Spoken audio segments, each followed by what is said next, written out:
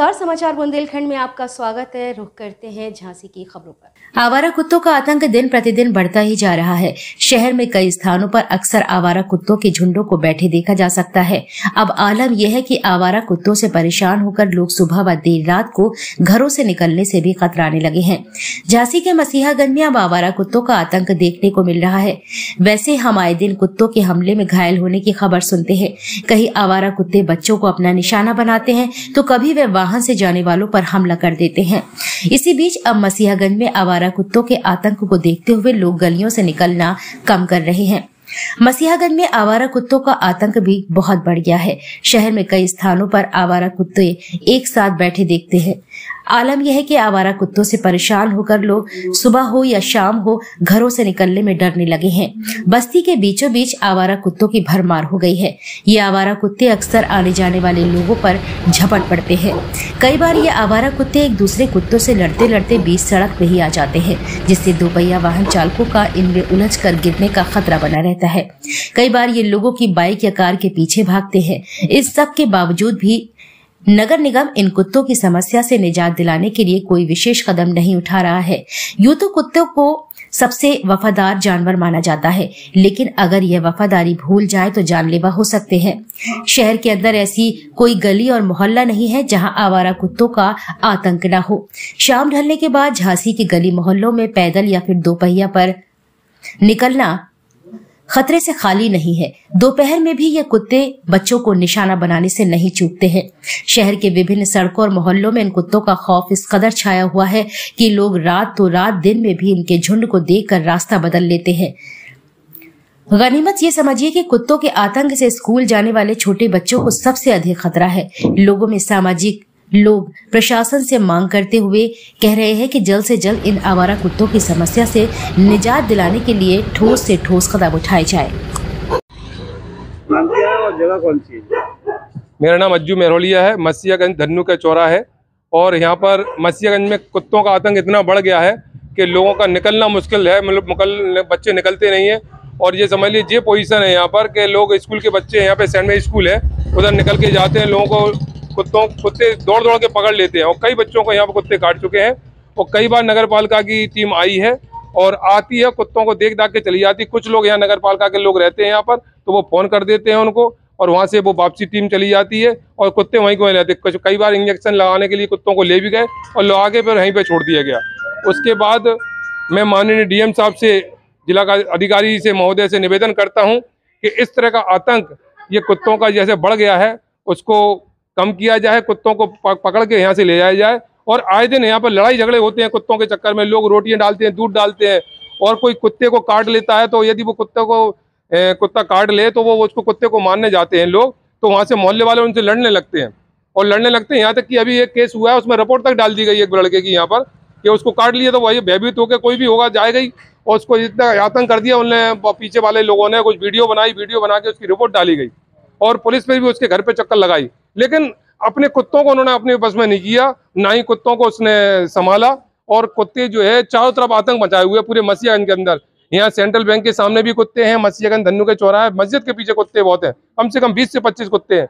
और इधर जैन साहब जो सेंट मेरीज के स्कूल के पास रहते हैं, वहाँ पे कम से कम बीस से पच्चीस कुत्ते हैं। इधर चंदपाल जी के पीछे कम से कम पच्चीस कुत्ते हैं। इससे कुत्तों का आंदोलन पूरे मसीहगंज में त्राई त्राई कर रहा है, लोगों को परेशान कर रहा है। आए दिन यहाँ से लोग ड्यूटी करने जाते हैं या कुछ करने जाते हैं। या ठेला लगाने वाले होते हैं, वो बेचारा दो सौ रुपये कमाने वाला वो कुत्ते को काट लेगा। कल एक बच्चे को कुत्ते को काटा, वो सिविल हॉस्पिटल गया था इंजेक्शन लगाने। उस बच्चे के पास, बेचारे के पास मोबाइल नहीं था तो मोबाइल उस गरीब आदमी है, वो किराए के मकान में रहता है। लेकिन मोबाइल कहाँ से लेके आए? उसके पास ओ ओटीपी करे ओ ओटीपी आई, और ओटीपी कहाँ से आएगी बेचारे के पास? जब उसके पास मोबाइल ही नहीं है, पूरी ज़िंदगी पूरन मिस्त्री है, उनके नाती को काटा। उन्होंने पूरी ज़िंदगी अपनी मिस्त्रीगिरी में निकाल दी, बेचारे किराए के मकान में रहते हैं, घर में लाइट तक नहीं है, मोबाइल कहाँ से लेके आए? लेकिन शासन प्रशासन और हॉस्पिटल गए तो उन्होंने ये कहा कि आप मोबाइल लाओ मोबाइल बेचारा गरीब आदमी उसको मालूम ही नहीं है कहाँ से लेके आए मोबाइल।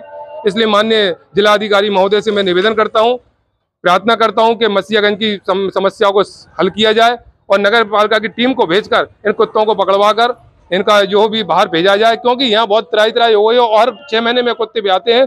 कम से कम लगभग दस से पच्चीस कुत्ते इस मोहल्ले में आतंक कर रहे हैं। और नाम क्या आपका?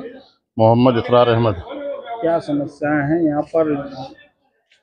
यहाँ पर मूल समस्या सिर्फ़ कुत्तों की है बच्चों का राहगीरों का। यहाँ तक कि रात दस बजे हम निकले अपने घर से बाहर तो हम नहीं निकल सकते। हम्म। हाँ। कौन सी जगह है? ये? मस्जिद छोटी मस्जिद कहलाती है। नाम क्या आपका? मेरा नाम जावेद खान। समस्या ये है कि हमारे बच्चे स्कूल जाते हैं सुबह मॉर्निंग में। हमारे बच्चों का निकलना दो बार हो गया। बच्चों को दो बार काट दिया निगम में भी उनके आते गाड़ी है उनको बोलते हैं लेकिन वो वापस चले जाते हैं कत्तों के लेकर नहीं जाते। और ले आते हैं तो वापस छोड़ जाते हैं। इस चक्कर से हमने अपने दूसरी रूट से बच्चों को पहुंचाना चालू कर दिया। हमारा कोई रिश्तेदार नहीं आ पा रहे हमारे कोई घर वाले नहीं आ पा रहे। इस समस्या का तुरंत निवारण निवारण करें। इंजेक्शन लगा चुके आपको तो रिपोर्ट लगा उसका पेपर आपको दे सकते हैं। सिविल हॉस्पिटल में इंजेक्शन लगाए। ये दोनों लड़कियों को लगवाए और हमारे ताऊ की लड़कियों को लगवाया है। जबकि मेंटल डिस्टर्ब है वो। तो आप खुद वेरीफाई कर सकते हैं मोहल्ले में आ सकते हैं। ज़्यादा आतंक है बहुत ज़्यादा कोई पूछने वाला नहीं कोई बोलने वाला है। कोई सुनवाई नहीं होती है।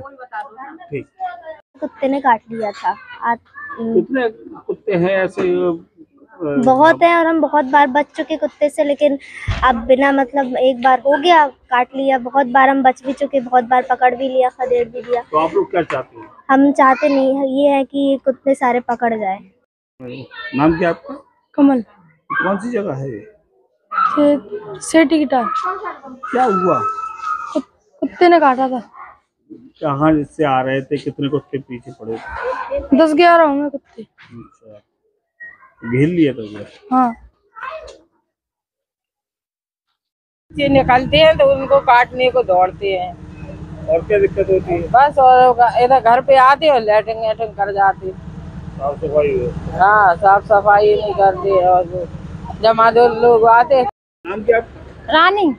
क्या समस्या है? ये कुत्तों के मारे नहीं निकल पाते बहुत लेटरिन करते घर में भी जाते रात में परेशान करते दिन में ऐसा नहीं निकल पाते हम लोग हैं? वो दौड़ते दौड़ते जाते काटने को दौड़ते रहेंगे एक कुतिया आए हम हम लोगों ने हम लोग यहाँ से हमने बोली स्पिन से कि हमें नीचे उतर जा नीचे उतर जा। फिर वो आगे गए हम वो कुतिया पीछे पड़ी बहुत सारे कुत्ते पड़ गए फिर काट लिया इसको। जो पेड़े मार रहा था इसने बहुत तेज भगा दी इसलिए। अच्छा। कितने कुत्ते पीछे पड़े थे। बहुत सारे, तीन, चार, पाँच छः चार पड़ गए। पहले पड़े, फिर हम भग गए वहाँ से, फिर और दूसरे पड़ गए। आगे गए